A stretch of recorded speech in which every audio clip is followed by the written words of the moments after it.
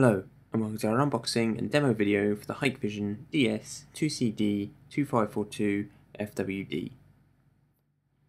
This camera is available in three different models. Hyphen I is the standard, hyphen IS features a microphone, and hyphen IWS features a microphone and wireless connection.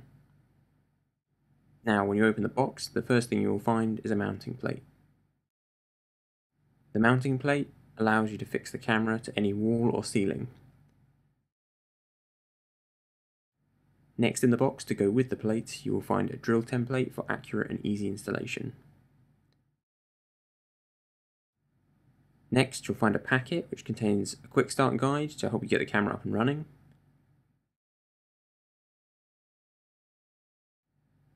And a software CD.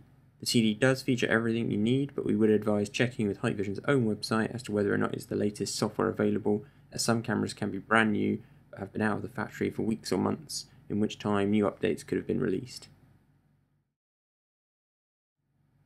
After this you'll find another small bag which includes a lens adjustment tool which as the name suggests lets you adjust the lens position without smudging or damaging the lens itself. Also you'll find a hex tool for unscrewing Hikvision's own hexagonal hex screws and two small mounting screws for mounting the camera to the mounting plate. In the box you will also find a connector gasket that seals and protects your network connection from moisture. Along with this you will also find a set of three wall screws with standard raw plugs.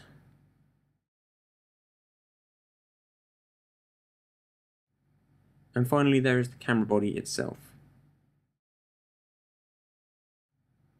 The camera is simple in design with no ports on the back and easy to install with two simple screw holes.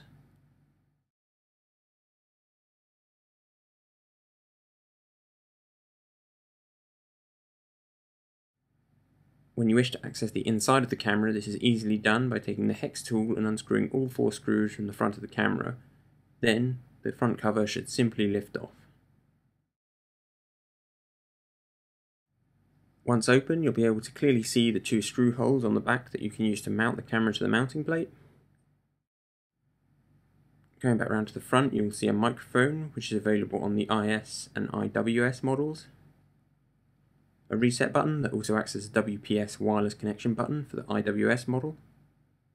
And all models feature the small hex screw next to the lens that when loosened allows you to adjust the lens's position. On the side of the camera you will find a micro SD slot. This range of cameras can handle up to 128GB of onboard storage which is useful if installing as a single camera without an NVR. The camera comes with three connectors as standard, an alarm input-output port, a 12 volt DC in port, and a LAN network port. When you come to mount your camera, you will first have to use the drill template and drill the holes where you wish to mount. A is where you will want to drill a large hole if you are passing your cables through the wall or ceiling, and the spots marked with 1s are the mounting holes. Now, the mounting plate. As already mentioned, it has four screw holes. The two directly opposite each other are for attaching the camera to the plate, and the other two are only used when mounting to a junction box or bracket. Once the plate is secured to the wall via the curved slots, you will need to attach the camera. To do this, simply pass the camera's cables through the wall or into the junction box behind the plate, and then take the two small screws shown earlier and screw the camera to the plate. After securing the camera into position, you can connect it and get a live image up on a nearby computer. Once you can see an image, it's likely you'll want to adjust the viewing angle of the lens. To do this, simply unscrew the hex screw next to the lens. Once loose, take the lens adjustment tool and stick its two little prongs into the holes at the top and bottom of the lens. Now you can adjust all three axes of movement, rotate, pan and tilt.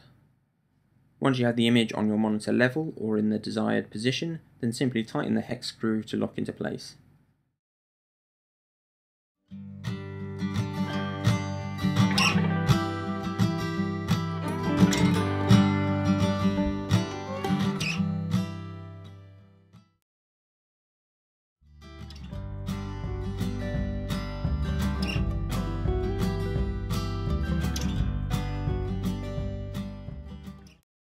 Now, This is the last demo of this video and uh, we wanted to do something that we've never done before in any video that we've posted to this channel. So we're going to do a demo of the weather and vandal resistance of the camera.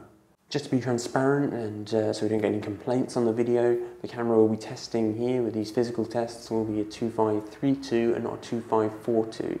They both have the same IK and IP ratings uh, and really the only reason we're doing it is because the 2532 is an older generation and is now old stock that we have and so it would be reduced in price anyway and will be reduced more in price because of the tests we do to it as it will be open box.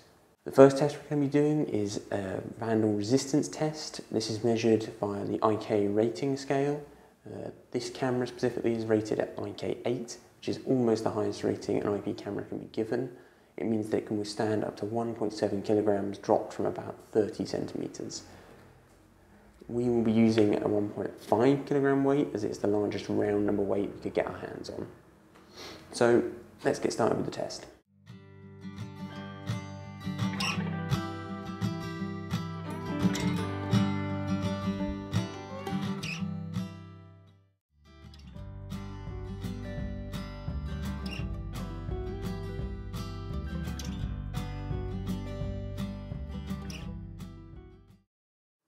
As you can see, there's no visible damage, and we tested the camera afterwards and it was still functioning correctly. Now we're going to test the camera's IP66 weather resistance rating. This means the camera can withstand very strong forces of water. So to test this, we will be pouring a very fast, continuous stream of water over the camera, as well as some very sudden splashes of water over the camera. So let's get started with the test.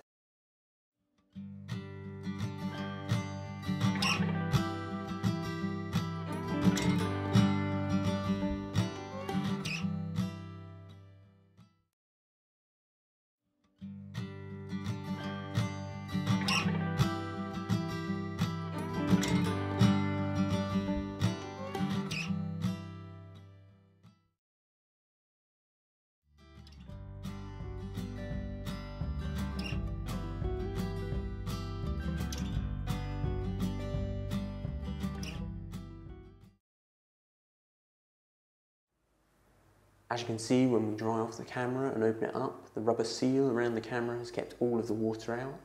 And as well, afterwards, when we plug the camera in, it was still functioning correctly. Thank you for watching and subscribing. If you haven't already subscribed, please do so by clicking the link over here. If you'd like to follow us on our social media feeds, you can find links in the description below. If you'd like to know more about this product or any other products we sell in our web shop, follow the link here. And if you'd like more videos like this, click the playlist up here. Once again, thank you and we'll see you in the next video.